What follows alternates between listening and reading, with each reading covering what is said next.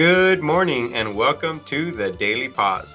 I'm Mr. Mialmix and today is February 28th, 2024.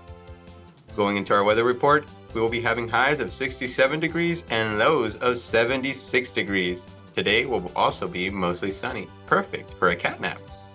For lunch, today we'll be having hamburger, and for breakfast tomorrow we'll be having assorted cereals. Also, in other news, we'll be having some guests walking through our classroom today, so if they come into yours, make sure you're on your best behavior and that you show them our Wildcat pride. Thank you for joining us today. That's all for our news. This is Mr. Maria signing off.